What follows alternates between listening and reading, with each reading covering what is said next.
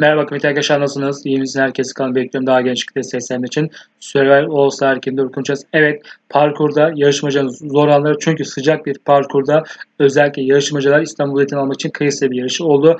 E, Batuhan ve Nefis'i kutlamak gerekiyor. Çünkü zorlu bir parkur, sıcak, efendim söyleyeyim zorlu şartlarda iyi yarışlar.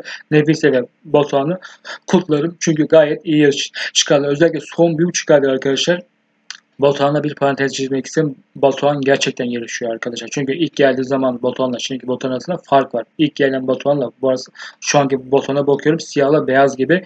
Nefise zaten sezonun başından beri benim favorimdi arkadaşlar. O gece finalde üstünlük sağladı ve İstanbul biletini almış oldu. Bu akşam da çok önemli. 3 tane yarışmacı yarışacak. Tabii ki özellikle 3 yarışmacı da bileti almak için yarışacak. Peki kim şanslı derseniz ben Üçünde şansın eşit olduğunu düşünüyorum ama Ogeda ile Atakan arasında kıyasla bir mücadele rekabet devam ediyor. Seda aradan çıkabilir arkadaşlar. Seda da sürpriz yapabilir.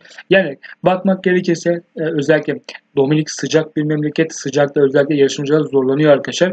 Ve artık Dominik'te yarışmalar bitmek üzere. Bu akşam bu akşamdan sonra Dominik'te yarışmalar bitiyor. Ve İstanbul arkadaşlar. İstanbul finalinde neler olacak bunu hep beraber izleyeceğiz. Tabii ki kıyasaya bir yarış bizi bekliyor. Yani özellikle Acun Bey'in sürprizleri var. Bunu, açık, bunu açıklayacak. E, sürpriz hediyeler, sürpriz efendim söyleyeyim gelişmeler olacağını size söyleyebilirim. Ama genel olarak bakarsak sezona gayet sezonu iyi geçti.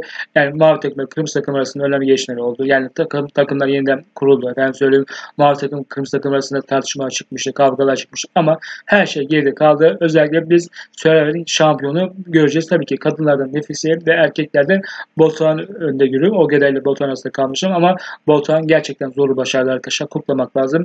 E, Nefise'yi de kutlamak lazım. Yani özellikle son bileti kim alacak? Şu an Seda Ogeda ve Atakan'da şansların eşit olduğunu söyleyebilirim.